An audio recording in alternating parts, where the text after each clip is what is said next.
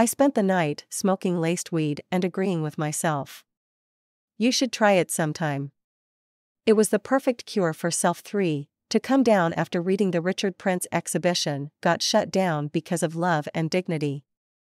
Isn't this fun? My shadow self is never at peace with life's pace, look at your crusty ass face.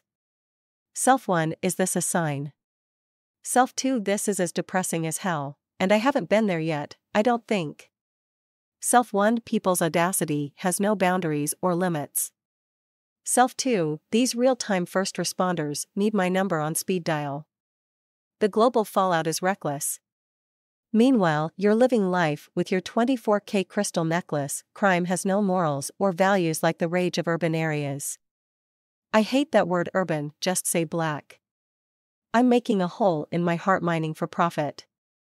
I've lied so much the lie is now the truth, this might be the cultest thing I've ever done.